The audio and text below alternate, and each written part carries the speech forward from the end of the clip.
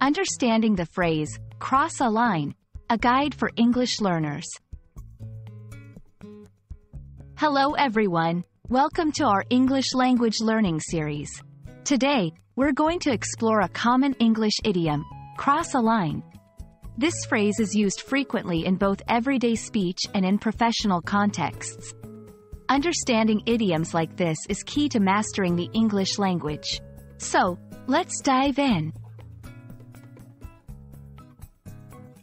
Cross a line is an idiom that means to go beyond a limit of acceptable behavior or to do something that is considered inappropriate or unacceptable.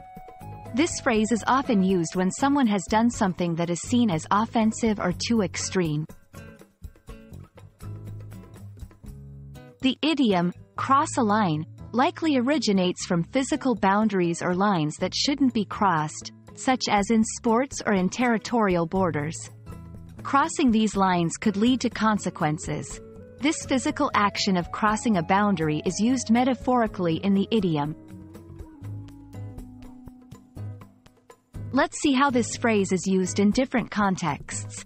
1. In a personal context, I think you crossed a line when you made fun of his family.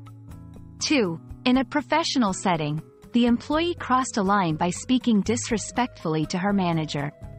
3. In public discourse, the politician crossed a line with his controversial statements. There are variations of this phrase that carry a similar meaning, such as, step over the line, or cross the boundary. These variations are used interchangeably in English. It's important to understand that what constitutes crossing a line can vary greatly depending on cultural norms and individual perspectives.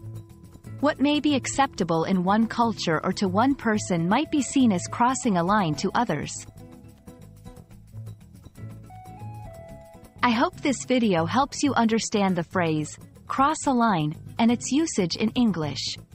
Remember, idioms like this are an important part of language learning and can help you sound more like a native speaker. Thank you for watching, and see you in our next video.